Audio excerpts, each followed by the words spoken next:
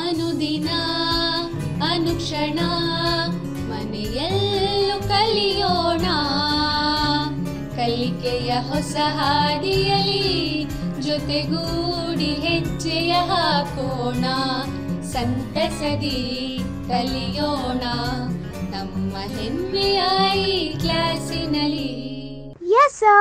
Yes, teacher. Present,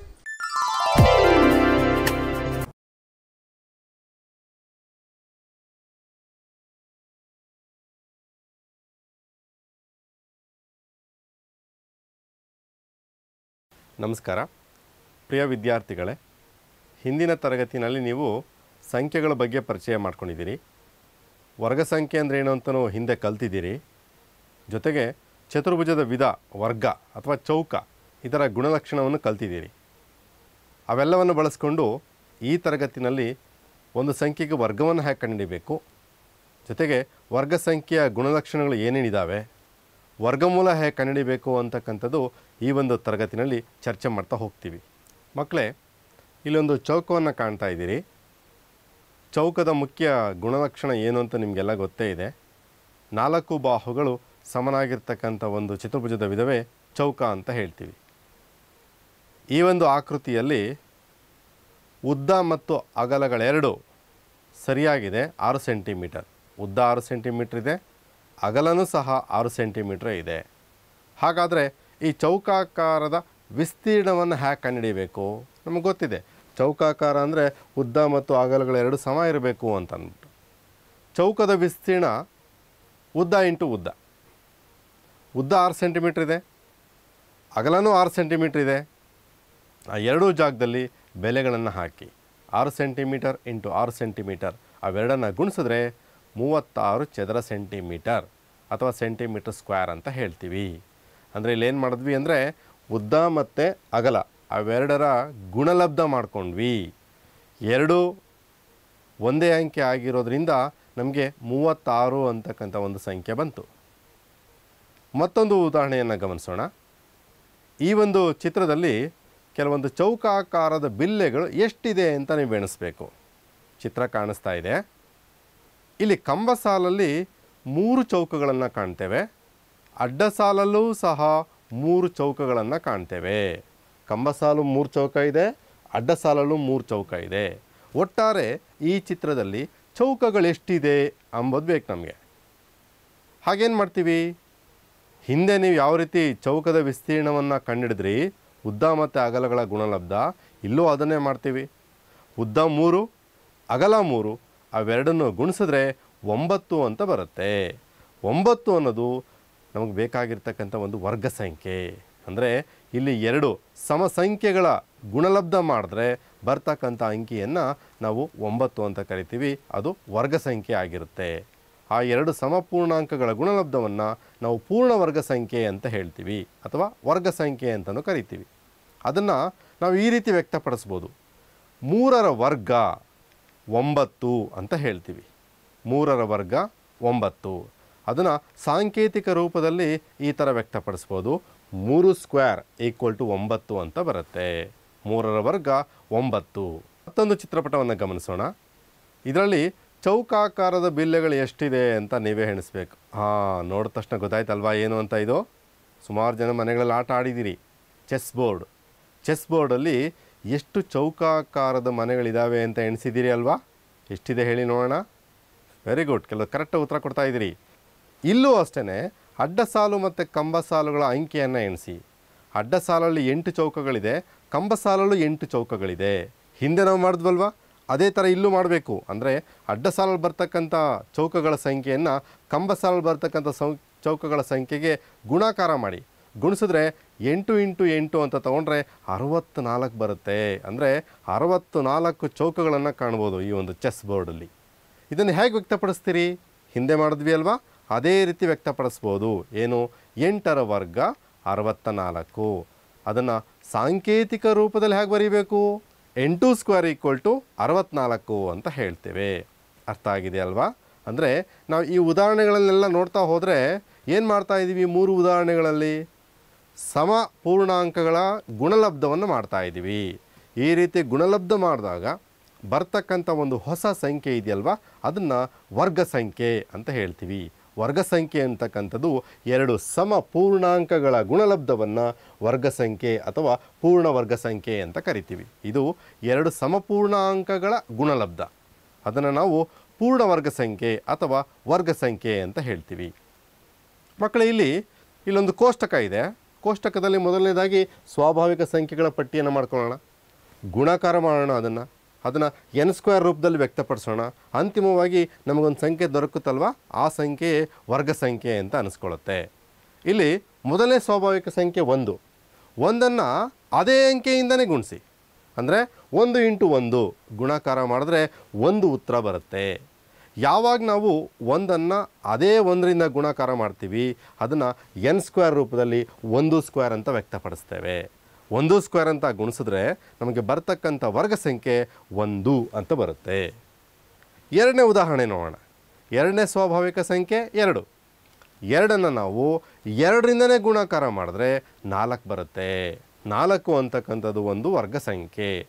ಅದನ್ನು N square ರೂಪದಲ್ಲಿ ಅಂದರೆ ಎರಡು ಸ್ಕ್ವೇರ್ ಅಂತ ವ್ಯಕ್ತಪಡಿಸ್ತೇವೆ. ನಾಲ್ಕು ನಮಗೆ ಬೇಕಾಗಿರ್ತಕ್ಕಂಥ ಪೂರ್ಣ ವರ್ಗ ಸಂಖ್ಯೆ. ಮೂರನೇ ಸ್ವಾಭಾವಿಕ ಸಂಖ್ಯೆ ಮೂರು. ಮೂರನ್ನು ಮೂರಿಂದನೇ ಗುಣಾಕಾರ ಮಾಡಿ ಒಂಬತ್ತು ಬರುತ್ತೆ. ಅದನ್ನು ಮೂರು ಸ್ಕ್ವೇರ್ ಅಂತ ವ್ಯಕ್ತಪಡಿಸ್ಬೋದು. ಬರ್ತಕ್ಕಂಥ ವರ್ಗ ಸಂಖ್ಯೆ ಒಂಬತ್ತು ಅಂತ ಬರುತ್ತೆ. ನಾಲ್ಕು ಸ್ವಾಭಾವಿಕ ಸಂಖ್ಯೆ ನಾಲ್ಕನೇದು. ನಾಲ್ಕನ್ನು ನಾಲ್ಕರಿಂದ ಗುಣಾಕಾರ ಮಾಡಿ ಹದಿನಾರು ಬರುತ್ತೆ. ಹದಿನಾರನ್ನು ನಾಲ್ಕು ಸ್ಕ್ವೇರ್ ಅಂತ ಬರ್ಕೋಬೋದು. ಕೊನೆಯಲ್ಲಿ ನಮಗೆ ಸಿಗ್ತಕ್ಕಂಥ ವರ್ಗ ಸಂಖ್ಯೆ ಹದಿನಾರು ಅಂತ ಬರುತ್ತೆ. ಹಾಗೆ ಐದನೇ ಸಂಖ್ಯೆಯನ್ನು ಐದರಿಂದನೇ ಗುಣಾಕಾರ ಮಾಡಿ ಇಪ್ಪತ್ತೈದು ಬರುತ್ತೆ. ಅದನ್ನು ಐದು ಸ್ಕ್ವೇರ್ ಅಂತ ಬರಿಬೋದು. ಐದು ಸ್ಕ್ವೇರ್ ಅದರ ವರ್ಗ ಸಂಖ್ಯೆ ಇಪ್ಪತ್ತೈದು. ಆರನೇದು ಆರು ಇಂಟು ಆರು, ಮೂವತ್ತಾರು, ಆರು ಸ್ಕ್ವೇರ್ ಅಂತ ಹೇಳ್ತೀವಿ. ಆರು ಸ್ಕ್ವೇರ್ ಅಂದರೆ ಮೂವತ್ತಾರು ಅಂತಕ್ಕಂಥದ್ದು ವರ್ಗ ಸಂಖ್ಯೆ ಆಗಿರುತ್ತೆ. ನಾನು ಉದಾಹರಣೆಗೆ ಒಂದು ಆರು ಸಂಖ್ಯೆಗಳನ್ನು ತಗೊಂಡಿದ್ದೀನಿ. ನೀವು ಎಷ್ಟು ಬೇಕಾದರೂ ಬರ್ಕೋಬೋದು. ಅಪರಿಮಿತ ಸಂಖ್ಯೆಯ ಪೂರ್ಣ ವರ್ಗ ಸಂಖ್ಯೆಗಳನ್ನು ಪಡ್ಕೋಬೋದು. ನಂತರ ಮತ್ತೊಂದು ಕೋಷ್ಟಕವನ್ನು ತಗೊಳ್ಳೋಣ ಸೂಕ್ಷ್ಮವಾಗಿ ಗಮನಿಸಿ. ಈ ಕೋಷ್ಟಕದಲ್ಲಿ ಒಟ್ಟಾರೆ ಇಪ್ಪತ್ತು ಸಂಖ್ಯೆಗಳಿಗೆ ವರ್ಗ ಸಂಖ್ಯೆಯನ್ನು ಕಂಡಿದ್ದೇವೆ. ಇಪ್ಪತ್ತು ಸಂಖ್ಯೆಗಳಿಗೆ ವರ್ಗ ಸಂಖ್ಯೆಯನ್ನು ಕಂಡಿದ್ದೀವಿ ಈ ಒಂದು ಸಂಖ್ಯೆಗಳನ್ನು ನೋಡ್ತಾ ಹೋಗೋಣ. ಮೊದಲನೇ ಕಂಬಸಾಲಲ್ಲಿ ಸಂಖ್ಯೆಗಳನ್ನು ಕೊಟ್ಟಿದೆ. ಎರಡನೇ ಕಂಬ ಸಾಲಲ್ಲಿ ವರ್ಗ ಸಂಖ್ಯೆಗಳನ್ನು ಕೊಟ್ಟಿದೆ. ಮೂರನೇ ಕಂಬ ಸಾಲಲ್ಲೂ ಸಂಖ್ಯೆಗಳಿದೆ. ನಾಲ್ಕನೇ ಕಂಬ ಸಾಲಲ್ಲಿ ವರ್ಗ ಸಂಖ್ಯೆಗಳಿದೆ. ಮಕ್ಕಳೇ, ಸೂಕ್ಷ್ಮ ಗಮನಿಸಿ ಅಲ್ಲಿ. ವರ್ಗ ಸಂಖ್ಯೆಗಳಿರ್ತಕ್ಕಂಥ ಆ ಕಂಬ ಸಾಲುಗಳನ್ನು ಗಮನಿಸಿ. ಅದರಲ್ಲಿ ಬಿಡಿ ಸ್ಥಾನದಲ್ಲಿರೋ ಅಂಕೆಗಳನ್ನು ಗಮನಿಸಿ. ಕೆಂಪು ಶಾಯಿಯಲ್ಲಿ ತೋರಿಸಿದೆ.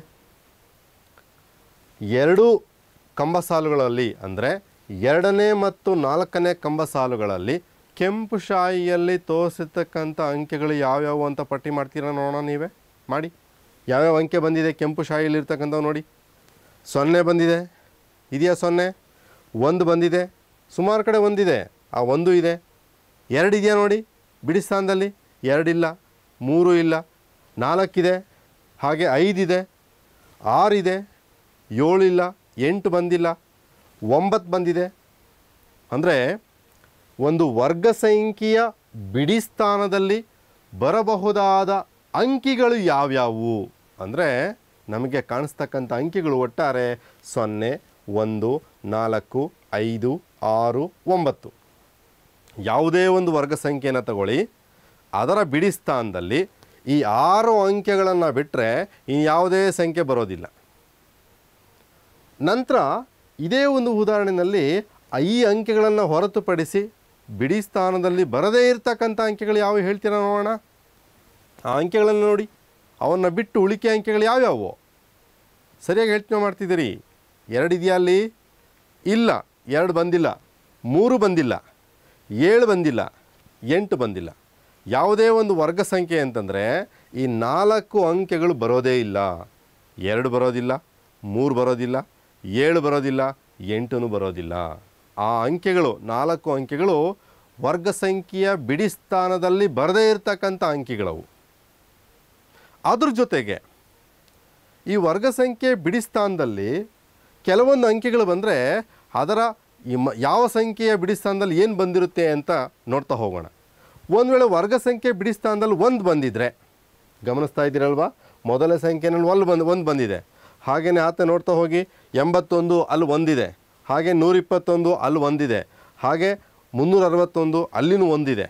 ಹಾಗೆಯೇ ನಮಗೆ ವರ್ಗ ಸಂಖ್ಯೆ ಬಿಡಿ ಸ್ಥಾನದಲ್ಲಿ ಒಂದು ಬಂದಿದೆ ಅಂತಂದರೆ ಆ ವರ್ಗ ಸಂಖ್ಯೆ ಯಾವ ಸಂಖ್ಯೆಗೆ ವರ್ಗ ಆಗಿರುತ್ತೋ ಅದರ ಬಿಡಿ ಸ್ಥಾನದಲ್ಲಿ ಇಲ್ಲ ಒಂದಿರುತ್ತೆ ಅಥವಾ ಒಂಬತ್ತು ಬಂದಿರುತ್ತೆ.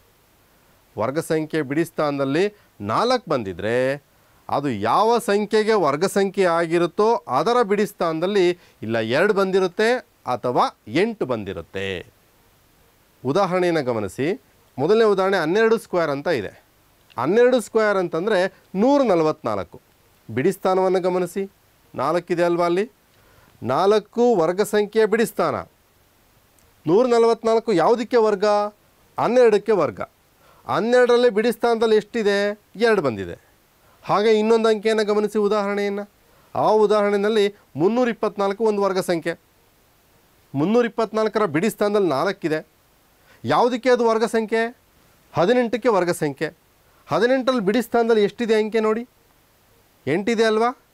ಹಾಗಾದರೆ ನಮಗೆ ವರ್ಗ ಸಂಖ್ಯೆಯ ಬಿಡಿ ಸ್ಥಾನದಲ್ಲಿ ನಾಲ್ಕು ಬಂದಿದೆ ಅಂತಂದರೆ ಯಾವ ಸಂಖ್ಯೆಗೆ ವರ್ಗ ಆಗಿರುತ್ತೋ ಅದರ ಬಿಡಿ ಸ್ಥಾನದಲ್ಲಿರೋ ಅಂಕೆಗಳು ಇಲ್ಲ ಎರಡಾಗಿರಬಹುದು ಅಥವಾ ಎಂಟು ಬಂದಿರಬಹುದು ಮತ್ತೊಂದು ಗುಣಲಕ್ಷಣವನ್ನು ಗಮನಿಸೋಣ.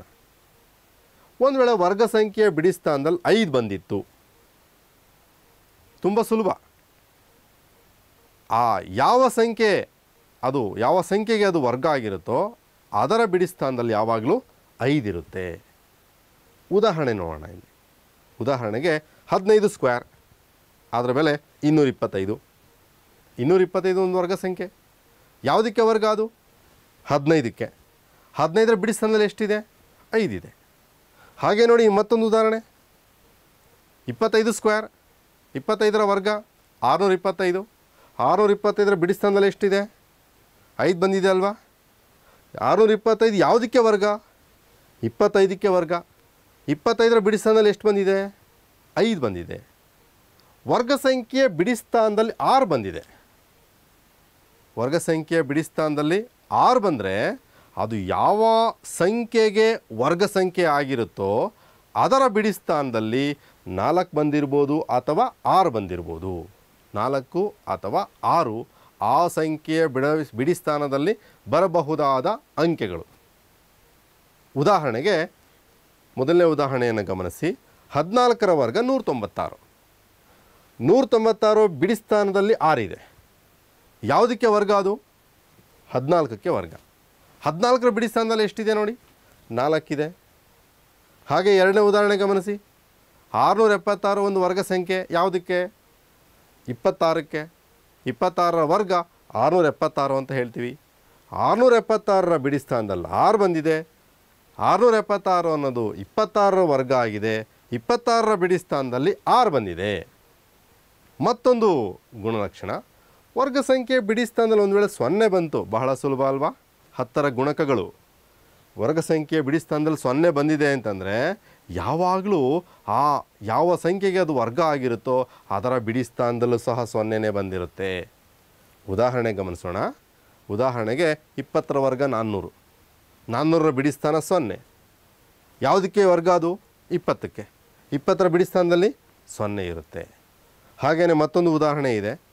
ಐವತ್ತರ ವರ್ಗ ಎರಡು ಸಾವಿರದ ಐದುನೂರು. ಎರಡು ಸಾವಿರದ ಐದರ ಬಿಡಿ ಸ್ಥಾನದಲ್ಲಿ ಸೊನ್ನೆ ಇದೆ. ಎರಡು ಸಾವಿರದ ಐದುನೂರು ಯಾವುದಕ್ಕೆ ವರ್ಗ? ಇಪ್, ಐವತ್ತಕ್ಕೆ ವರ್ಗ ಅದು. ಹಾಗಾದರೆ ಅದರ ಬಿಡಿ ಸ್ಥಾನದಲ್ಲಿ ಎಷ್ಟಿದೆ? ಸೊನ್ನೆನೇ ಇದೆ. ಇವೆಲ್ಲವೂ ಸಹ ವರ್ಗ ಸಂಖ್ಯೆಯ ಕೆಲವೊಂದು ಗುಣಲಕ್ಷಣಗಳು. ತ್ರಿಕೋನೀಯ ಸಂಖ್ಯೆಗಳು ಅಂದ್ರೆ ಏನು ಅಂತ ನೋಡ್ತಾ ಹೋಗೋಣ. ತ್ರಿಕೋನೀಯ ಸಂಖ್ಯೆಗಳು ಹೆಸರೇ ಹೇಳ್ತಾ ಇದೆ. ತ್ರಿಕೋನವನ್ನು ಉಂಟು ಮಾಡ್ತಕ್ಕಂಥ ಸಂಖ್ಯೆಗಳು. ತ್ರಿಕೋನ ಅಂದರೂ ಒಂದೇ, ತ್ರಿಭುಜ ಅಂದರೂ ಒಂದೇ. ಇದಕ್ಕೆ ಒಂದು ಉದಾಹರಣೆಯನ್ನು ಗಮನಿಸೋಣ. ಒಂದು ಚಿತ್ರ ಕಾಣಿಸ್ತಾ ಇದೆ. ಈ ಚಿತ್ರದಲ್ಲಿ ಚುಕ್ಕಿಗಳನ್ನು ಜೋಡಿಸಿದ್ದಾರೆ. ಈ ತ್ರಿಕೋನೀಯ ಸಂಖ್ಯೆಗಳಿಗೂ ವರ್ಗ ಸಂಖ್ಯೆಗಳಿಗೂ ಏನಪ್ಪ ಸಂಬಂಧ ಅನ್ಕೊಂಡು ಯೋಚನೆ ಮಾಡ್ತಾ ಇದ್ದೀರಾ? ಖಂಡಿತವಾಗ್ಲೂ ಸಂಬಂಧ ಇದೆ. ಏನು ಅಂತ ನೋಡ್ತಾ ಹೋಗೋಣ. ಇಲ್ಲಿ ಯಾವುದೇ ಎರಡು ಕ್ರಮಾಗತ ತ್ರಿಕೋನೀಯ ಸಂಖ್ಯೆಗಳ ಮೊತ್ತವನ್ನು ಕಂಡುಹಿಡಿತಾ ಹೋಗಿ ಬರ್ತಕ್ಕಂಥ ಉತ್ತರ ಯಾವಾಗಲೂ ವರ್ಗ ಸಂಖ್ಯೆನೇ ಆಗಿರುತ್ತೆ. ಅಂದರೆ ತ್ರಿಕೋನ ಸಂಖ್ಯೆಗಳನ್ನು ಕ್ರಮಾಗತ ತ್ರಿಕೋನೀಯ ಸಂಖ್ಯೆಗಳನ್ನು ಕೂಡಿದ್ರೆ ಅದರ ಮೊತ್ತ ಯಾವಾಗಲೂ ವರ್ಗ ಸಂಖ್ಯೆ ಬರುತ್ತೆ. ಪರೀಕ್ಷೆ ಮಾಡೋಣ ಹೇಗೆ ಅಂತ? ಮೊದಲನೇ ತ್ರಿಕೋನೀಯ ಸಂಖ್ಯೆಯನ್ನು ಎರಡನೇ ತ್ರಿಕೋನೀಯ ಸಂಖ್ಯೆಗೆ ಮೊತ್ತ ಮಾಡಿ. ಅಂದರೆ ಒಂದು ಮತ್ತು ಮೂರನ್ನು ಕೂಡಿಸಿ. ಕೂಡಿಸಿದ್ರೆ ಉತ್ತರ ಎಷ್ಟು ಬರುತ್ತೆ ಹೇಳಿ? ನಾಲ್ಕು ಬರ್ತಾ ಇದೆ. ಹಾಗೆ ಎರಡನೇ ಮತ್ತು ಮೂರನೇ ತ್ರಿಕೋನೀಯ ಸಂಖ್ಯೆಗಳನ್ನು ಮೊತ್ತ ಕಂಡುಕೊಳ್ಳಿ. ಕೂಡಿ ಅವೆರಡನ್ನು. ಮೂರನ್ನು ಆರಕ್ಕೆ ಕೂಡಿ. ಉತ್ತರ ಎಷ್ಟು? ಒಂಬತ್ತು ಬಂತು. ವರ್ಗ ಸಂಖ್ಯೆ ಅಲ್ವಾ? ನಾಲ್ಕು ವರ್ಗ ಸಂಖ್ಯೆ, ಒಂಬತ್ತು ವರ್ಗ ಸಂಖ್ಯೆ. ನಂತರ ಮೂರನೇ ಸಂಖ್ಯೆಯನ್ನು ನಾಲ್ಕನೇ ಸಂಖ್ಯೆ ಕೂಡಿ. ಆರು ಮತ್ತು ಹತ್ತನ್ನು ಕೂಡಿಸಿ. ಎಷ್ಟು ಬರ್ತಾ ಇದೆ? ಹದಿನಾರು ಬರ್ತಾ ಇದೆ. ಹದಿನಾರು ವರ್ಗ ಸಂಖ್ಯೆ. ನಾಲ್ಕನೇ ಅಂಕೆಯನ್ನು ಐದಕ್ಕೆ ಕೂಡಿಸಿ. ಹತ್ತನ್ನು ಹದಿನೈದಕ್ಕೆ ಕೂಡಿಸಿ. ಎಷ್ಟು ಬರ್ತಾ ಇದೆ? ಇಪ್ಪತ್ತೈದು ಬರ್ತಾ ಇದೆ. ಇಪ್ಪತ್ತೈದು ವರ್ಗ ಸಂಖ್ಯೆನೇ. ನೋಡ್ತಾ ಇದ್ದೀರಲ್ವ ಈ ಬಾಕ್ಸ್ಗಳಲ್ಲಿ ಬರ್ತಕ್ಕಂಥ ಅಂಕೆಗಳು? ಇವೆಲ್ಲವೂ ಕ್ರಮಾನುಗತ ತ್ರಿಕೋನೀಯ ಸಂಖ್ಯೆಗಳ ಮೊತ್ತ. ಅವುಗಳನ್ನು ಕೂಡಿದ್ರೆ ಬರ್ತಕ್ಕಂಥ ಅಂಕೆಗಳು ಒಂದು ಪೂರ್ಣ ವರ್ಗ ಸಂಖ್ಯೆ ಬರ್ತಾ ಇದೆ. ವರ್ಗ ಸಂಖ್ಯೆ ಆಗಿರುತ್ತೆ. ಸೊ ಈ ರೀತಿಯಾಗಿ ತ್ರಿಕೋನೀಯ ಸಂಖ್ಯೆಗಳನ್ನು ವರ್ಗ ಸಂಖ್ಯೆಗಳಿಗೆ ಸಂಬಂಧವನ್ನು ಕಲ್ಪಿಸ್ಬೋದು. ವರ್ಗ ಸಂಖ್ಯೆಗಳ ನಡುವಿನ ಸಂಖ್ಯೆಗಳು. ವರ್ಗ ಸಂಖ್ಯೆಗಳು ನಮಗೆ ಪರಿಚಯ ಇದೆ. ಅದರ ಮಧ್ಯೆ ಬರ್ತಕ್ಕಂಥ ಅಂಕೆಗಳಿಗೆ ಯಾವ ರೀತಿ ಸಂಬಂಧವನ್ನು ಕೊಡ್ಬೋದು ಅಂತ ನೋಡ್ತಾ ಹೋಗೋಣ. ಇಲ್ಲಿ ಕೆಲವೊಂದು ವರ್ಗ ಸಂಖ್ಯೆಗಳನ್ನು ತಗೊಂಡಿದ್ದೇನೆ. ಒಂದು, ನಾಲ್ಕು, ಒಂಬತ್ತು, ಹದಿನಾರು. ಉದಾಹರಣೆಗೆ ನಾನು ನಾಲ್ಕು ವರ್ಗ ಸಂಖ್ಯೆಗಳನ್ನು ತಗೊಂಡಿದ್ದೀನಿ. ಅವುಗಳ ಮಧ್ಯೆ ಬರ್ತಕ್ಕಂಥ ಇತರೆ ಸಂಖ್ಯೆಗಳನ್ನು ಪಟ್ಟಿ ಮಾಡ್ತಾ ಹೋಗೋಣ. ಒಂದು ಮತ್ತು ನಾಲ್ಕರ ಮಧ್ಯೆ ಯಾವ್ಯಾವ ಸಂಖ್ಯೆಗಳು ಬರುತ್ತೆ? ಎರಡು ಬರುತ್ತೆ, ಮೂರು ಬರುತ್ತೆ. ಹಾಗೆಯೇ ನಾಲ್ಕು ಮತ್ತು ಒಂಬತ್ತರ ಮಧ್ಯೆ ಯೋಚನೆ ಮಾಡಿ ನೋಡೋಣ. ಯಾವ ಸಂಖ್ಯೆ ಬರುತ್ತೆ ಹೇಳಿ? ಹೇಳಿ? Very good. ಸರಿಯಾಗಿ ಹೇಳ್ತಾ ಇದ್ದೀರಿ. ಐದು ಬರುತ್ತೆ. ಆರು, ಏಳು, ಇನ್ನೊಂದು, ಎಂಟು. ನಂತರ ಕೊನೆಯದಾಗಿ ಒಂಬತ್ತು ಮತ್ತು ಹದಿನಾರರ ಮಧ್ಯೆ ಅಂಕಿಗಳು ಯಾವ ಬರುತ್ತೆ ಹೇಳಿ? ಹತ್ತು, ಹನ್ನೊಂದು, ಹನ್ನೆರಡು, ಹದಿಮೂರು, ಹದಿನಾಲ್ಕು, ಹದಿನೈದು. ಏನಪ್ಪ ಸಂಬಂಧ ಇವುಗಳಿಗೂ ಅದಕ್ಕೂ ಅಂತ ಯೋಚನೆ ಮಾಡ್ತಾ ಇದ್ದೀರಾ? ಖಂಡಿತ ಸಂಬಂಧ ಇದೆ. ಈ ರೀತಿಯ ಲೆಕ್ಕಗಳನ್ನು ಸಹ ಬಿಡಿಸ್ಬೋದು ನೀವು. ಹೇಗೆ? ಒಂದು ಮತ್ತು ನಾಲ್ಕು ವರ್ಗ ಸಂಖ್ಯೆ ಅವುಗಳ ಮಧ್ಯೆ ಎರಡು ಮತ್ತು ಮೂರು ಅಂತಕ್ಕಂಥ ಎರಡು ಅಂಕೆಗಳಿದೆ. ಒಟ್ಟು ಎಷ್ಟು ಅಂಕೆಗಳಿದೆ ಅಂತಾಯಿತು? ಕೇವಲ ಎರಡು ಅಂಕೆ ಮಾತ್ರ ಇದೆ. ನಾಲ್ಕು ಮತ್ತು ಒಂಬತ್ತು ಪೂರ್ಣ ವರ್ಗ ಸಂಖ್ಯೆ. ವರ್ಗ ಸಂಖ್ಯೆಗಳವು. ಅವುಗಳ ಮಧ್ಯೆ ಇರ್ತಕ್ಕಂಥ ಅಂಕೆಗಳ ಸಂಖ್ಯೆ ಎಷ್ಟಿದೆ? ನಾಲ್ಕಿದೆ. ಒಂಬತ್ತು ಮತ್ತು ಹದಿನಾರು ವರ್ಗ ಸಂಖ್ಯೆಗಳು. ಅವೆರಡರ ಮಧ್ಯೆ ಬರ್ತಕ್ಕಂಥ ಅಂಕೆಗಳ ಸಂಖ್ಯೆ ಎಷ್ಟಿದೆ ನೋಡಿ? ಒಟ್ಟು ಆರು ಸಂಖ್ಯೆಗಳಿದ್ದಾವೆ ಅಂದರೆ ಯಾವುದೇ ಎರಡು ಕ್ರಮಾನುಗತ ವರ್ಗ ಸಂಖ್ಯೆಗಳ ಮಧ್ಯೆ ಬರ್ತಕ್ಕಂಥ ಇತರೆ ಸಂಖ್ಯೆಗಳ ಸಂಖ್ಯೆ ಎಷ್ಟು ಅಂತ ಕಂಡುಹಿಡಿಯೋದು ವಿಧಾನ ಇದು. ಹೇಗೆ ಅಂತ ನೋಡೋಣ. ಈಗ ಮೊದಲೆರಡು ಸಂಖ್ಯೆಗಳನ್ನು ಮಾತ್ರ ತಗೊಳ್ಳೋಣ ಇಲ್ಲಿ ಒಂದು ಮತ್ತು ನಾಲ್ಕು ಯಾವುದರ ವರ್ಗ ಅದು? ಒಂದು ಅನ್ನೋದು ಒಂದರ ವರ್ಗ, ನಾಲ್ಕು ಅನ್ನೋದು ಎರಡರ ವರ್ಗ. ಹಾಗಾದರೆ ಒಂದು ಮತ್ತು ನಾಲ್ಕನ್ನು ಈ ರೀತಿ ಬರೀಬೋದು ಅಂದರೆ ಎರಡು ಸ್ಕ್ವೇರ್ ಮೈನಸ್ ಒಂದು ಸ್ಕ್ವೇರ್, ಅವುಗಳ ವ್ಯತ್ಯಾಸದಲ್ಲಿ ಯಾವಾಗಲೂ ಒಂದನ್ನು ಕಡಿಮೆ ಮಾಡಬೇಕು, ಒಂದನ್ನು ಕಳಿಬೇಕು. ಈ ರೀತಿ ಬರ್ಕೋಬೋದು ಅಥವಾ ಇನ್ನೊಂದು ರೀತಿಯೂ ವ್ಯಕ್ತಪಡಿಸ್ಬೋದು. ಆ ಎರಡು ವರ್ಗ ಸಂಖ್ಯೆಗಳ ವ್ಯತ್ಯಾಸ, ದೊಡ್ಡ ವರ್ಗ ಸಂಖ್ಯೆ ಮೈನಸ್ ಅದರ ಹಿಂದಿನ ವರ್ಗ ಸಂಖ್ಯೆ ಮೈನಸ್ ಒಂದು. ನೋಡಿ, ನಾಲ್ಕರಲ್ಲಿ ಒಂದನ್ನು ಕಳೀರಿ. ಬರ್ತಕ್ಕಂಥ ಉತ್ತರದಲ್ಲಿ ಮತ್ತೆ ಒಂದನ್ನು ಕಳಿಬೇಕು, ಯಾವಾಗಲೂ ಒಂದನ್ನೇ ಮೈನಸ್ ಮಾಡಬೇಕು ನೀವು. ಇದೇ ರೀತಿ ಆ ಎರಡು ಉದಾಹರಣೆಗಳು ನೀವು ಅನ್ವಯಿಸ್ಬೋದು ಯೋಚನೆ ಮಾಡಿ ಅಲ್ಲಿ. ನಾಲ್ಕು ಮತ್ತು ಒಂಬತ್ತು ಇದೆಯಲ್ವಾ? ಅದ್ರ ಮಧ್ಯೆ ಎಷ್ಟು ಅಂಕೆಗಳು ಬಂದಿದೆ? ನಾಲ್ಕು ಅಂಕೆಗಳಿದೆ. ನಾಲ್ಕು ಅಂಕೆಗಳು ಬಂದಿದೆ ಅಂತ ನಾವು ಕಂಡುಹಿಡ್ಕೋಬೇಕು. ಹೇಗೆ? ಒಂಬತ್ತು ಅನ್ನೋದು ಮೂರರ ವರ್ಗ. ನಾಲ್ಕು ಅನ್ನೋದು ಎರಡರ ವರ್ಗ. ಮೂರರ ವರ್ಗ ಮೈನಸ್ ಎರಡರ ವರ್ಗ. ಅವೆರಡರಲ್ಲಿ ಮತ್ತೆ ಒಂದನ್ನು ಮೈನಸ್ ಮಾಡ್ತಾ ಇದ್ದೀವಿ. ಮೂರರ ವರ್ಗ ಮೈನಸ್ ಎರಡರ ವರ್ಗ ಅಂದರೂ ಒಂದೇ ಒಂಬತ್ತು ಮೈನಸ್ ನಾಲ್ಕು ಅಂದರೂ ಒಂದೇ ಆ ಎರಡು ವರ್ಗ ಸಂಖ್ಯೆಗಳ ವ್ಯತ್ಯಾಸ ತಗೋಬೇಕು. ಯಾವಾಗಲೂ ದೊಡ್ಡ ಸಂಖ್ಯೆ ಮೈನಸ್ ಚಿಕ್ಕ ಸಂಖ್ಯೆ. ಬರ್ತಕ್ಕಂಥ ಉತ್ತರದಲ್ಲಿ ಮತ್ತೆ ಒಂದನ್ನು ಕಳಿಬೇಕು. ಉತ್ತರ ಎಷ್ಟು ಬಂತು ಹೇಳಿ ನೋಡೋಣ. ಒಂಬತ್ತರಲ್ಲಿ ನಾಲ್ಕನ್ನು ಕಳೆದ್ರೆ ಐದು ಬರುತ್ತೆ. ಐದರಲ್ಲಿ ಮತ್ತೆ ಒಂದನ್ನು ಮೈನಸ್ ಮಾಡಬೇಕು ಯಾವಾಗ್ಲೂ ಐದರಲ್ಲಿ ಒಂದು ಹೋದರೆ ಎಷ್ಟು? ನಾಲ್ಕು. ಹಾಗಾದರೆ ನಾಲ್ಕು ಮತ್ತು ಒಂಬತ್ತರ ಮಧ್ಯೆ ಇರ್ತಕ್ಕಂಥ ಅಂಕೆಗಳು ಎಷ್ಟಿದೆ? ನಾಲ್ಕು ಸಂಖ್ಯೆಗಳಿದೆ. ಯಾವುದ್ಯಾವ್ದದು? ಐದು, ಆರು, ಏಳು, ಎಂಟು. ಮಾಡ್ಬೋದಲ್ವಾ? ಈಸಿ ಅನ್ನಿಸ್ತಾ ಇದೆಯಾ? ಇನ್ನೂ ಒಂದು ಉದಾಹರಣೆ ನೋಡೋಣ. ಲಾಸ್ಟಲ್ಲಿ ಒಂದು ಉದಾಹರಣೆ ಇದೆ. ಅದನ್ನು ಮುಗಿಸ್ಬಿಡೋಣ ಒಂಬತ್ತು ಮತ್ತು ಹದಿನಾರಿದೆ ಅದರ ಮಧ್ಯೆ ಆರು ಸಂಖ್ಯೆ ಇದೆ. ನಮಗೆ ಪಟ್ಟಿ ಮಾಡಿದ್ದೀವಿ. ಪಟ್ಟಿಯನ್ನು ಎಣಿಸಿದ್ರೆ ಬಂದ್ಬಿಡುತ್ತೆ ಉತ್ತರ. ನಾವು ಈ ವಿಧಾನದಲ್ಲಿ ಅದನ್ನು ಲೆಕ್ಕ ಕಂಡುಹಿಡಿಬೇಕು. ಹೇಗೆ? ಹದಿನಾರು ಯಾವುದಕ್ಕೆ ವರ್ಗ? ನಾಲ್ಕಕ್ಕೆ ವರ್ಗ. ಒಂಬತ್ತು ಮೂರಕ್ಕೆ ವರ್ಗ. ಅಂದರೆ ಇಲ್ಲಿ ಥರ ಬರಿಬೋದು? ನಾಲ್ಕರ ವರ್ಗ ಮೈನಸ್ ಮೂರರ ವರ್ಗ ಮೈನಸ್ ಒಂದು. ನಾಲ್ಕರ ವರ್ಗ ಅಂದರೂ ಒಂದೇ. ಹದಿನಾರು ಅಂದರೂ ಒಂದೇ. ಆ ಎರಡು ವರ್ಗ ಸಂಖ್ಯೆಗಳ ವ್ಯತ್ಯಾಸ. ಹದಿನಾರು ಮೈನಸ್ ಒಂಬತ್ತು. ಅವೆರಡಲ್ಲಿ ಮತ್ತೆ ಒಂದನ್ನು ಮೈನಸ್ ಮಾಡಬೇಕು. ಹದಿನಾರರಲ್ಲಿ ಒಂಬತ್ತು ಹೋದರೆ ಎಷ್ಟು? ಏಳು ಬಂತ? ಏಳರಲ್ಲಿ ಮತ್ತೆ ಒಂದನ್ನು ಮೈನಸ್ ಮಾಡಿ. ಎಷ್ಟು ಬಂತು ಉತ್ತರ? ಆರು ಬಂತು. ಆರು ಅಂಕೆ ಇದಾವಲ್ವಾ? ಹಾಗೆ ಯೋಚನೆ ಮಾಡಿ ನೀವೇ. ಯಾವುದಾದ್ರೂ ಎರಡು ಕ್ರಮಾಗತ ವರ್ಗ ಸಂಖ್ಯೆಯನ್ನು ತಗೊಳ್ಳಿ. ಅವುಗಳ ಮಧ್ಯೆ ಅಂಕೆಗಳು ಎಷ್ಟಿದೆ ಅಂತ ಪಟ್ಟಿ ಮಾಡೋಕ್ಕೆ ಹೋಗಬಾರ್ದು. ಪಟ್ಟಿ ಮಾಡ್ದೇನೆ ಎಷ್ಟು ಅಂಕೆಗಳಿದೆ ಆ ಸಂಖ್ಯೆಯನ್ನು ಈ ವಿಧಾನದಲ್ಲಿ ಕಂಡುಹಿಡಿಬೇಕು. ನೆನಪಲ್ಲಿಟ್ಕೊಳ್ಳಿ, ಯಾವಾಗಲೂ ಆ ವ್ಯತ್ಯಾಸದಲ್ಲಿ ಮತ್ತೆ ಒಂದನ್ನು ಮೈನಸ್ ಮಾಡಬೇಕು. ಆ ವರ್ಗ ಸಂಖ್ಯೆಗಳ ವ್ಯತ್ಯಾಸ ಮೈನಸ್ ಒಂದು. ಯಾವ ಸಂಖ್ಯೆ ಬೇಕಾದರೂ ಕಂಡುಹಿಡ್ಕೋಬೋದು. ಇನ್ನೂ ಅತಿ ದೊಡ್ಡ ದೊಡ್ಡ ಸಂಖ್ಯೆಗಳಿಗೂ ಇವನ್ನು, ವಿಧಾನವನ್ನು ಅನ್ವಯಿಸ್ಬೋದು. ಅರ್ಥ ಆಗಿದೆಯಲ್ವಾ? ಬೆಸ ಸಂಖ್ಯೆಗಳ ಸಂಕಲನ ಮತ್ತು ವರ್ಗ ಸಂಖ್ಯೆ. ಇದೇನಪ್ಪ ಇದು? ಬೆಸ ಸಂಖ್ಯೆಯಲ್ಲಿ, ವರ್ಗ ಸಂಖ್ಯೆಯಲ್ಲಿ ಅಂತ ಯೋಚನೆ ಮಾಡ್ತಾ ಇದ್ದೀರಾ? ಖಂಡಿತ ಒಂದು ಸಂಬಂಧ ಇದೆ. ಏನ ಸಂಬಂಧ ಅಂತ ನೋಡ್ತಾ ಹೋಗೋಣ. ಬೆಸ ಸಂಖ್ಯೆಗಳು ಯಾವುವು ಅಂತ ಹೇಳಿ, ಪರಿಚಯ ಇದೆ ನಿಮಗೆ? ಸರಿ ಸಂಖ್ಯೆ, ಬೆಸ ಸಂಖ್ಯೆ. ಯಾವ ಬೆಸ ಸಂಖ್ಯೆಗಳು? ವೆರಿ ಗುಡ್ ಸರಿಯಾಗಿ ಹೇಳ್ತಾ ಇದ್ದೀರಿ. ಒಂದು, ಮೂರು, ಐದು, ಏಳು, ಒಂಬತ್ತು ಇತ್ಯಾದಿ. ಎಲ್ಲಿವರೆಗೂ ಎಣಿಸ್ಬೋದು? ಅಪರಿಮಿತ ಸಂಖ್ಯೆವರೆಗೂ ಎಣಿಸ್ತಾ ಹೋಗ್ಬೋದು. ಅವನ್ನ ನಾವು ಬೆಸ ಸಂಖ್ಯೆಗಳು ಅಂತ ಹೇಳ್ತೀವಿ. ಆದರೆ ಈ ಬೆಸ ಸಂಖ್ಯೆಗಳ ಮೊತ್ತವನ್ನು ಮಾಡಿದ್ರೆ ಅದು ವರ್ಗ ಸಂಖ್ಯೆಗೆ ಸಂಬಂಧವನ್ನು ಕೊಡುತ್ತೆ. ಹೇಗೆ ಅಂತ ನೋಡೋಣವಾ ನೋಡಿ, ಇಲ್ಲಿ ಒಂದು ಬೆಸ ಸಂಖ್ಯೆ ಅಂತ ತೊಗೊಂಡೆ. ಒಂದು ಬೆಸ ಸಂಖ್ಯೆ. ಒಂದನ್ನು ಕೂಡಿ. ಒಂದನ್ನು ಒಂದಕ್ಕಲ್ಲ. ಇರೋದೇ ಒಂದು ಸಂಖ್ಯೆ. ಅದರ ಸಂಕಲನ ಅಂದರೆ ಮೊತ್ತ ಎಷ್ಟು? ಒಂದೇ ಬರ್ತಾ ಇದೆ. ಹಾಗಾದರೆ ಒಂದು ಅನ್ನೋದು ವರ್ಗ ಸಂಖ್ಯೆ ಅಲ್ವಾ? ಒಂದು ಬೆಸ ಸಂಖ್ಯೆ, ಅದರ ಮೊತ್ತ ಅಂದರೆ ಅದೇ ಸಂಖ್ಯೆನೇ ಆಗಿರುತ್ತೆ. ಅದು ಒಂದು ವರ್ಗ ಸಂಖ್ಯೆಯನ್ನು ಕೊಡ್ತಾ ಇದೆ. ಎರಡು ಬೆಸ ಸಂಖ್ಯೆ ತಗೊಳ್ಳಿ. ಮೊದಲೆರಡು ಬೆಸ ಸಂಖ್ಯೆ. ಮೊದಲೆರಡು ಬೆಸ ಸಂಖ್ಯೆಗಳು ಯಾವ್ಯಾವು? ಒಂದು ಮತ್ತು ಮೂರು. ಒಂದು ಮೊದಲನೇ ಬೆಸ ಸಂಖ್ಯೆ, ಮೂರು ಎರಡನೇ ಬೆಸ ಸಂಖ್ಯೆ. ಅವೆರಡನ್ನು ಮೊತ್ತ ಮಾಡಿ. ಎಷ್ಟು ಬಂತು ಉತ್ತರ? ನಾಲ್ಕು ಬಂತು. ಮೊದಲೆರಡು ಬೆಸ ಸಂಖ್ಯೆಗಳ ಮೊತ್ತ ನಾಲ್ಕಾಗಿದೆ. ಮೂರನೇ ಉದಾಹರಣೆ, ನೀವೇ ಯೋಚನೆ ಮಾಡ್ತಾ ಇದ್ದೀರಿ ವೆರಿ ಗುಡ್ ಮೂರು, ಮೊದಲ ಮೂರು ಬೆಸ ಸಂಖ್ಯೆಗಳ ಮೊತ್ತ ಯಾವ್ಯಾವ ಕೊಡಬೇಕು ಹೇಳಿ ನೋಡೋಣ. ಒಂದಿದೆ, ಮೂರಿದೆ, ನಂತರ ಐದು. ಒಂದು ಪ್ಲಸ್ ಮೂರು ಪ್ಲಸ್ ಐದು. ಮೊದಲ ಮೂರು ಬೆಸ್ ಸಂಖ್ಯೆಗಳ ಮೊತ್ತ ಎಷ್ಟು ಬರುತ್ತೆ? ವೆರಿ ಗುಡ್ ಒಂಬತ್ತು. ಒಂಬತ್ತು ಎಂಥ ಸಂಖ್ಯೆ ಅದು? ವರ್ಗ ಸಂಖ್ಯೆ. ಸುಲಭ ಇದೆ ಅಲ್ವಾ? ನಂತರ ನಾಲ್ಕನೇ ನೀವೇ ಯೋಚನೆ ಮಾಡಿದ್ದೀರಾಗಲೇ ಏನು ಹೇಳಿ ನೋಡೋಣ? ಒಂದು ಪ್ಲಸ್ ಮೂರು ಪ್ಲಸ್ ಐದಿದೆ ಅದ್ರ ಜೊತೆಗೆ ಏಳನ್ನು ಸೇರಿಸ್ಕೊಳ್ಳಿ. ನಾಲ್ಕು ಬೆಸ ಸಂಖ್ಯೆಗಳು. ಮೊದಲ ನಾಲ್ಕು ಬೆಸ ಸಂಖ್ಯೆಗಳ ಮೊತ್ತವನ್ನು ಮಾಡಿ. ಮುಂದಿನ ವರ್ಗ ಸಂಖ್ಯೆ ಯಾವುದು? ಒಂಬತ್ತರ ನಂತರ ಬರ್ತಕ್ಕಂಥ ವರ್ಗ ಸಂಖ್ಯೆ. ಹದಿನಾರು ವೆರಿ ಗುಡ್ ಹದಿನಾರು ಬರ್ತಾ ಇದೆ. ಒಂದು ನಿಯಮ ಇದೆಯಾ ಇಲ್ಲಿ? ಅರ್ಥ ಆಗ್ತಿದೆಯಲ್ವಾ ಬೆಸ ಸಂಖ್ಯೆ ಮೊತ್ತ ಮಾಡಿದ್ರೆ ವರ್ಗ ಸಂಖ್ಯೆ ಬರ್ತಾ ಇದೆ. ಈಗ ಸಂಬಂಧ ಏನು ಅಂತ ಗೊತ್ತಾಯ್ತಲ್ವಾ? ಬೆಸ ಸಂಖ್ಯೆಗಳ ಮೊತ್ತದಿಂದ ನಾವು ವರ್ಗ ಸಂಖ್ಯೆಯನ್ನು ಪಡ್ಕೋಬೋದು. ಯೋಚನೆ ಮಾಡಿ.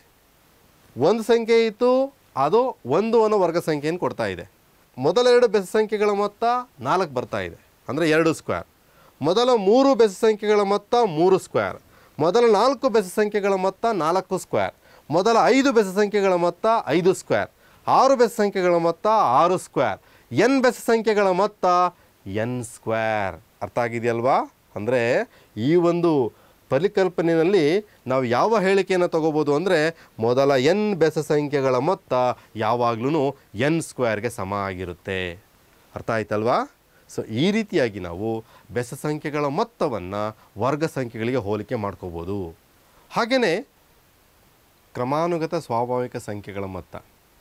ಏನಪ್ಪ ಇದು ಕ್ರಮಾನುಗತ ಸ್ವಾಭಾವಿಕ ಸಂಖ್ಯೆಗಳ ಮೊತ್ತ ಅಂದ್ಕೊಂಡ್ರಾ ಉದಾಹರಣೆ ಮುಖಾಂತರ ನೋಡೋಣ. ಇಲ್ಲೊಂದು ವರ್ಗ ಸಂಖ್ಯೆ ಇದೆ, ಒಂಬತ್ತು. ಯಾವುದಕ್ಕೆ ವರ್ಗ ಅದು? ಮೂರಕ್ಕೆ ವರ್ಗ, ಮೂರು ಸ್ಕ್ವೇರ್ ಅಂತ ಹೇಳ್ತೀವಿ. ಇಲ್ಲಿ ಒಂದು ವರ್ಗ ಸಂಖ್ಯೆಯನ್ನು ಎರಡು ಕ್ರಮಾನುಗತ ಸ್ವಾಭಾವಿಕ ಸಂಖ್ಯೆಗಳ ಮೊತ್ತವಾಗಿ ವ್ಯಕ್ತಪಡಿಸ್ಬೋದು. ಹೇಗೆ ಅಂತ ನೋಡೋಣ. ಒಂದು ನೆನಪಲ್ಲಿಟ್ಕೊಳ್ಳಿ ಎಲ್ಲ ವರ್ಗ ಸಂಖ್ಯೆಗಳನ್ನು ಈ ರೀತಿ ವ್ಯಕ್ತಪಡಿಸೋದಕ್ಕೆ ಆಗೋದಿಲ್ಲ. ಕೆಲವೊಂದನ್ನು ಮಾತ್ರ. ಈಗ ಒಂಬತ್ತನ್ನು ತೊಗೊಂಡಿದ್ದೀನಿ. ನೋಡೋಣ ಹೇಗೆ ವ್ಯಕ್ತಪಡಿಸ್ಬೋದು ಅಂತ. ಇಲ್ಲಿ ಮೊದಲನೇ ಸಂಖ್ಯೆ ಮತ್ತು ಎರಡನೇ ಸಂಖ್ಯೆ. ಕ್ರಮಾನುಗತ ಅಂತಂದರೆ ಎರಡು ಸಂಖ್ಯೆಗಳು, ಒಂದಾದಮೇಲೆ ಒಂದು ಬರ್ತಕ್ಕಂಥ ಎರಡು ಸಂಖ್ಯೆಗಳನ್ನು ಕಂಡಿಡ್ಕೋಬೇಕು. ಮೊದಲನೇ ಸಂಖ್ಯೆ ಕಂಡಿಡ್ಕೊಳ್ಳೋಣ. ಒಂಬತ್ತು ವರ್ಗ ಸಂಖ್ಯೆ, ಅದು ಮೂರರ ವರ್ಗ. ಮೂರು ಸ್ಕ್ವೇರನ್ನು ತಗೊಂಡು ಅದರಲ್ಲಿ ಒಂದನ್ನು ಮೈನಸ್ ಮಾಡಿ, ಮತ್ತು ಎರಡರಿಂದ ಬಾಗಿಸಿ ಏನು ವರ್ಗ ಸಂಖ್ಯೆ ಇದೆ, ಅದರಲ್ಲಿ ಒಂದನ್ನು ಮೈನಸ್ ಮಾಡಿ. ಡಿವೈಡ್ ಬೈ ಎರಡು ಮಾಡಿ. ಬರ್ತಕ್ಕಂಥ ಉತ್ತರ ಎಷ್ಟು ಹೇಳಿ ನೋಡೋಣ? ಮೂರು ಸ್ಕ್ವೇರ್ ಅಂದರೆ ಒಂಬತ್ತು. ಒಂಬತ್ತರಲ್ಲಿ ಒಂದು ಹೋದರೆ ಎಂಟು. ಎಂಟನ್ನು ಎರಡರಿಂದ ಬಾಗಿಸಿ ನಾಲ್ಕು ಬರ್ತಾ ಇದೆ. ನಾಲ್ಕು ಅನ್ನೋದು ಮೊದಲನೇ ಸಂಖ್ಯೆ. ಅಂದರೆ ಕ್ರಮಾನುಗತ ಸ್ವಾಭಾವಿಕ ಸಂಖ್ಯೆಗಳ ಮೊತ್ತದಲ್ಲಿ ಮೊದಲನೇ ಸಂಖ್ಯೆ ತಕ್ಕ ಸಿಕ್ತು ನಮಗೆ.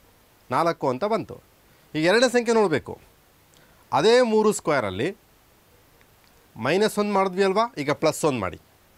ಮೇಲೆ ಮೊದಲನೇ ಸಂಖ್ಯೆ ಬೇಕು ಅಂದರೆ ಮೈನಸ್ ಒಂದು ಮಾಡಿದ್ವಿ. ಎರಡನೇ ಸಂಖ್ಯೆ ಬೇಕು ಅಂದರೆ ಪ್ಲಸ್ ಒಂದು ಮಾಡಬೇಕು. ಮೂರು ಸ್ಕ್ವೇರ್ ಅಂದರೆ ಎಷ್ಟು? ಒಂಬತ್ತು.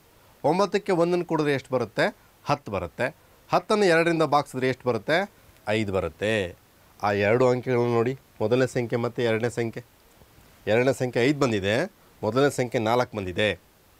ನಾಲ್ಕು ಮತ್ತು ಐದು ಸ್ವಾಭಾವಿಕ, ಕ್ರಮಾನುಗತ ಸ್ವಾಭಾವಿಕ ಸಂಖ್ಯೆಗಳಾವು? ಎಸ್, ಸರಿಯಾಗಿ ಹೇಳಿದ್ರಿ. ಒಂಬತ್ತು ಅನ್ನೋ ವರ್ಗ ಸಂಖ್ಯೆಯನ್ನು ಎರಡು ಕ್ರಮಾನುಗತ ಸ್ವಾಭಾವಿಕ ಸಂಖ್ಯೆಗಳ ಮೊತ್ತವನ್ನಾಗಿ ವ್ಯಕ್ತಪಡಿಸ್ಬೋದು. ಹೇಗೆ? ಒಂಬತ್ತು ಈಕ್ವಲ್ ಟು ನಾಲ್ಕು ಪ್ಲಸ್ ಐದು. ಅರ್ಥ ಆಯ್ತಲ್ವಾ? ಇಲ್ಲಿ ಜ್ಞಾಪಕ ಇಟ್ಕೋಬೇಕು. ಮೊದಲನೇ ಸಂಖ್ಯೆ ಬೇಕು ಅಂದರೆ ಅದರ ವರ್ಗದಲ್ಲಿ ಮೈನಸ್ ಒಂದು ಮಾಡಿ ಎರಡರಿಂದ ಭಾಗಿಸ್ಬೇಕು. ಯಾವಾಗಲೂ ನಾವು ಎರಡರಿಂದನೇ ಭಾಗಿಸ್ಬೇಕು. ಎರಡನೇ ಅಂಕೆ ಬೇಕು ಅಂದರೆ ಪ್ಲಸ್ ಒನ್ ಮಾಡಬೇಕು ಮತ್ತು ಎರಡರಿಂದ ಭಾಗಿಸ್ಬೇಕು. ಮುಂದಿನ ಒಂದು ಪರಿಕಲ್ಪನೆ ನೋಡ್ತಾ ಹೋಗೋಣ. ಯಾವುದೇ ಒಂದು ಸಂಖ್ಯೆಗೆ ವರ್ಗವನ್ನು ಯಾವ ರೀತಿ ಕನ್ನಡಿಬೋದು ಅಂತ ನೋಡ್ತಾ ಹೋಗೋಣ. ಸಂಖ್ಯೆಗಳ ವರ್ಗಗಳನ್ನು ಹೇಗೆ ಕನ್ನಡಿಬೇಕು ಅಂತ. ಚಿಕ್ಕ ಸಂಖ್ಯೆ ಆದರೆ ನೇರವಾಗಿ ನಾವೇ ಗುಣಾಕಾರ ಮಾಡ್ತೀವಿ. ಆರು, ಆರರ ವರ್ಗ, ಆರು ಇಂಟು ಆರು, ಮೂವತ್ತಾರು ಬರುತ್ತೆ. ಚಿಕ್ಕ ಸಂಖ್ಯೆ ಅದು. ಬೇರೆ ಸಂಖ್ಯೆ ತೊಗೊಂಡೆ ಹನ್ನೊಂದು. ಹನ್ನೊಂದರ ವರ್ಗವನ್ನು ಕಂಡು ಹಿಡೀರಿ ಅಂದರೆ ಏನು ಮಾಡ್ತೀರಿ? ಹನ್ನೊಂದನ್ನು ಅದೇ ಅಂಕೆ ಹನ್ನೊಂದರಿಂದ ಗುಣಿಸ್ತೀವಿ. ನೂರಿಪ್ಪತ್ತೊಂದು ಬರುತ್ತೆ. ಮತ್ತು ಇನ್ನೊಂದು ಚೂರು ದೊಡ್ಡ ಸಂಖ್ಯೆ ಹೋಗೋಣ. ಹದಿನೈದು ತೊಗೊಂಡೆ. ಹದಿನೈದರ ವರ್ಗ ಅಂದರೆ? ಹದಿನೈದು ಇಂಟು ಹದಿನೈದು ಗುಣಾಕಾರ ಮಾಡ್ತೀವಿ, ಇನ್ನೂರ ಇಪ್ಪತ್ತೈದು ಬರುತ್ತೆ. ಈಗ ಈ ವಿಧಾನದಲ್ಲಿ ಗುಣಾಕಾರ ಮಾಡದೆಯೇ ಯಾವ ರೀತಿ ವರ್ಗವನ್ನು ಕಂಡುಹಿಡಿಬೇಕು ಅಂತ ನೋಡ್ತಾ ಹೋಗೋಣ. ಇಲ್ಲೊಂದು ಉದಾಹರಣೆ ಇದೆ. ಇಪ್ಪತ್ನಾಲ್ಕರ ವರ್ಗ. ಇಪ್ಪತ್ನಾಲ್ಕನ್ನು ಇಪ್ಪತ್ತು ಪ್ಲಸ್ ನಾಲ್ಕು ಅಂತ ಬರ್ಕೋಬೋದು. ಅಂದರೆ ಕೊಟ್ಟಿರೋ ಅಂಕೆಯನ್ನು ಎ ಪ್ಲಸ್ ಬಿ ರೂಪದಲ್ಲಿ ವ್ಯಕ್ತಪಡಿಸ್ಬೇಕು. ಎ ಪ್ಲಸ್ ಬಿ ರೂಪದಲ್ಲಿ ಬರೆದಾದ್ಮೇಲೆ ಏನು ಮಾಡಬೇಕು? ಎ ಸ್ಕ್ವೇರ್ ಮೊದಲು ಬರ್ಕೋಬೇಕು. ಲಾಸ್ಟಲ್ಲಿ ಬಿ ಸ್ಕ್ವೇರ್ ಬರ್ಕೋಬೇಕು. ಮತ್ತು ಆ ಎರಡನ್ನು ಎರಡು ಬಾರಿ ಗುಣಾಕಾರ ಮಾಡಬೇಕು. ಇಪ್ಪತ್ತು ಇಂಟು ನಾಲ್ಕು ಪ್ಲಸ್ ಇಪ್ಪತ್ತು ಇಂಟು ನಾಲ್ಕು. ಗುಣಾಕಾರ ಮಾಡಿದ ಆದಮೇಲೆ ಎಲ್ಲ ಅಂಕೆಗಳ ಮೊತ್ತವನ್ನು ಕಂಡಿಡ್ಕೊಂಡ್ರೆ ಅದು ಐದುನೂರ ಎಪ್ಪತ್ತಾರು ನಾವು ನಿಜವಾದ ಗುಣಾಕಾರ ಮಾಡಿದ್ವಾ ಇಲ್ಲಿ? ಇಲ್ಲ. ನಿಜವಾದ ಗುಣಾಕಾರ ಮಾಡದೆಯೇ? ಗುಣಿಸದೆಯೇ? ಅಂಕೆಗಳ ಗುಣಾಕಾರ ಮಾಡದೇ ಯಾವ ರೀತಿ ವರ್ಗವನ್ನು ಕಂಡುಹಿಡಬೇಕು ಅಂತಕ್ಕಂಥ ಒಂದು ವಿಧಾನ. ಅರವತ್ತ್ಮೂರರ ವರ್ಗ ಕಂಡುಹಿಡಿಯಿರಿ. ಹೇಗೆ ಹೇಳ್ತೀರಿ? ಅರವತ್ತ್ಮೂರರ ವರ್ಗ ಮೂರು ಸಾವಿರದ ಒಂಬೈನೂರ ಅರವತ್ತ ಒಂಬತ್ತು. ಅರ್ಥ ಆಗಿದೆಯಲ್ವಾ ಸೊ ಈ ರೀತಿಯಾಗಿ ನಾವು ಯಾವುದೇ ಒಂದು ಅಂಕೆಗೆ ವರ್ಗವನ್ನು ಕಂಡುಹಿಡಿಬೋದು ನಿಮಗೆ ಕೆಲವೊಂದು ಅಭ್ಯಾಸಕ್ಕಾಗಿ ಲೆಕ್ಕಗಳನ್ನು ಕೊಡ್ತಾ ಇದ್ದೇನೆ. ಮಾಡ್ತೀರಿ ಅಲ್ವಾ? ಈ ನಾಲ್ಕು ಪ್ರಶ್ನೆಗಳನ್ನು ಉತ್ತರ ಬರ್ಕೊಳ್ಳಿ. ಅದನ್ನು ನಿಮ್ಮ ಶಿಕ್ಷಕರ ಜೊತೆ ಚರ್ಚೆ ಮಾಡಿ. ನನ್ನ ಹೆಸರು ಸ್ವಾಮಿ ಎಚ್ ಆರ್. ಸಹ ಶಿಕ್ಷಕರು ಸರ್ಕಾರಿ ಬಾಲಕಿಯರ ಪ್ರೌಢಶಾಲೆ ದೇವನಹಳ್ಳಿ ತಾಲೂಕು ಬೆಂಗಳೂರು ಗ್ರಾಮಾಂತರ ಜಿಲ್ಲೆ. ಎಲ್ರಿಗೂ ಶುಭವಾಗಲಿ. ನಮಸ್ಕಾರ.